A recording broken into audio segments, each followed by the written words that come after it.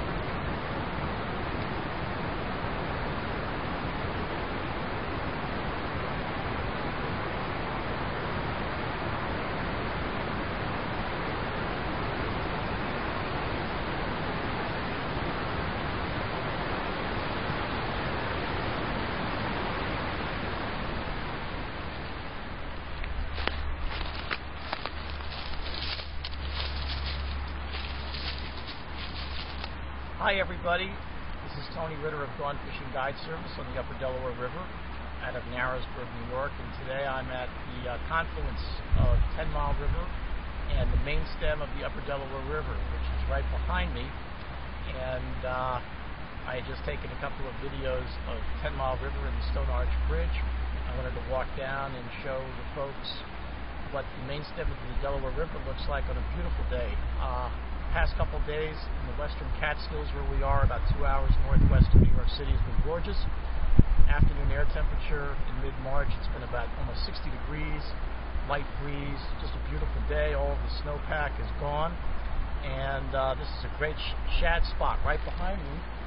You can probably hear or see the little ripples where the river pinches up, and uh, we fish for shad in early May to mid June, and the water temperature is about 48 to about 68 degrees. 52 to about 60 degrees is prime, and the shad run in schools, come up from the ocean once a year to spawn.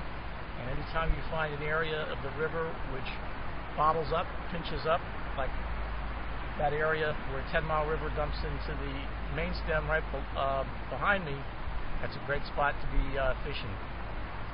So I wanted to show the folks uh, on the internet what uh, this river looks like on a beautiful day in Ten Mile River.